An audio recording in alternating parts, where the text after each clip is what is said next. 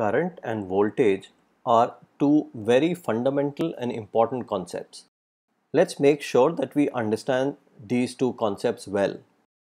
As we saw in earlier videos, electric current is flow of electrons and voltage is the electric potential difference between two points in a circuit and it is this voltage or the electric potential difference which makes the electrons flow. That is voltage and the current, the electric potential difference and the flow of electrons have a relationship with each other.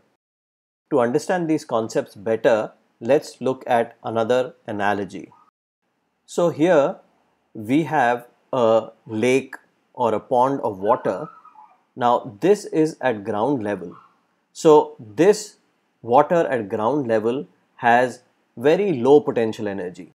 But if we were to pump this water up to this water tank and then from this height if the water were to fall down it would have a lot of energy which could in turn be used to rotate this wheel and connected to this wheel is this saw and then we could use this energy to cut these wooden blocks. So this simulation is from ck12.org website and if I play this simulation then you can see that this man is pumping the water from this water body and with this pipe it is going to this height and getting stored in this tank. Now because we have raised the water from this ground level where the potential was very low, when we raised the water to a certain height, it had a potential difference from the ground level. And when this water was flowing out of this pipe, it had the energy to turn this wheel and we were harnessing this energy to run this saw and cutting pieces of wood. So in this electric circuit, the, the electric potential difference is created by this battery. And this battery is like this person pumping water. Because when the water falls down and reaches ground level it has zero potential energy. And when this person pumps up this water to a certain height that's when the water regains potential energy. Just like that electrons which are flowing out of this battery when they work to make this bulb glow they lose that potential energy and then this battery has to do some work which is in the form of chemical energy. So the chemicals inside this battery recharge these particles and then they have the energy to do work, light the bulb, then they lose this energy and the battery recharges these particles. So that is what the battery is, this person doing this work and potential difference is how high we raise this water. So if we raise this water higher, watch the animation. Now the water is at a higher level from the ground that is the potential difference is more and then when it falls from a greater height it has the potential to do more work but also this person has to pump harder because the water has to be raised to a higher level. If I raise the water level even higher then this person has to put in a lot of work to raise this water. And now this water is falling from a greater height and hence it has the energy to do more work. So this wheel is turning faster and the the the attached saw is also working faster. So this is potential difference or in electric circuit it's the electric potential difference called voltage so voltage is nothing but the potential difference. So the higher the distance uh, from the ground level, the more the potential difference or the more the voltage. So in our circuit, you can think of it in two ways. We can, to, to understand this better, I'm saying that if I add another battery to this circuit, then my bulb glows brighter simply because the potential difference is now more.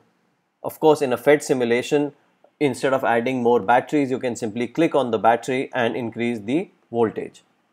So this increase in voltage is same as raising the water to a higher and higher level. So if voltage is the potential difference, what is current? Current is the rate at which this water is flowing. So when we raise the level of water, not only does the potential difference increase, the rate at which water is flowing out of the pipe also goes up. And this rate at which the water is flowing is same as current in our electric circuit. And you can see it here also when I put the uh, potential difference is lower, then this is the voltage and this is the current, both are one unit. And then if I increase the potential difference, the voltage goes up as in the potential difference is higher now and the current also goes up. Current is the flow of water or flow of electrons. And if I increase the potential even more, both the voltage and the current they go up. So in a electric circuit, the voltage and current are directly related. Higher the voltage, higher the current. So in this circuit, these batteries represent the potential difference that is the voltage and the rate at which electrons are flowing through this circuit that is the current. And to measure the voltage we use a voltmeter. To measure the voltage drop in any component in a circuit you take a voltmeter and you take one of the prongs and you attach it to one of the terminals of the component and you take the other prong and you put it on the second terminal of the component. So here we can see that the voltage drop across this bulb is 62 volts and if I change the voltage across this uh, second battery so if I lower it you can see that the voltage drop across uh, this bulb is 20 volts because we have two batteries both of them are 10 volt and the second one is also 10 volt so it's 20 volt and that's the voltage drop we are measuring across this bulb and if we want to measure current we need another meter which is called the ammeter so ammeter measures the current in a circuit and right now the current in this circuit is 1.11 amperes. A stands for amperes. And if I increase the voltage, you can see that the current in this circuit also increases. So the voltage and current are directly related. Higher the voltage, higher the current. In a, in a real circuit, the ammeter has to be a part of the circuit. A voltmeter you can measure just by putting the two prongs between the two terminals of a component but to measure current the ammeter has to be part of the circuit.